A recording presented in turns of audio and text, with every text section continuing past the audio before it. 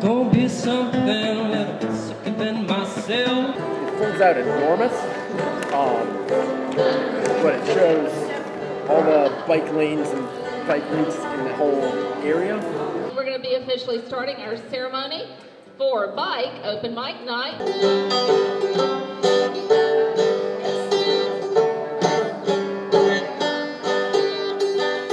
It's a very sturdy device and has really low rolling resistance. It just goes and goes and goes and goes.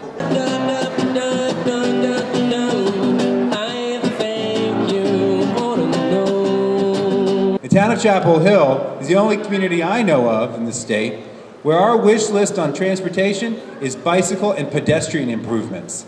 That's it. That's Chapel Hill.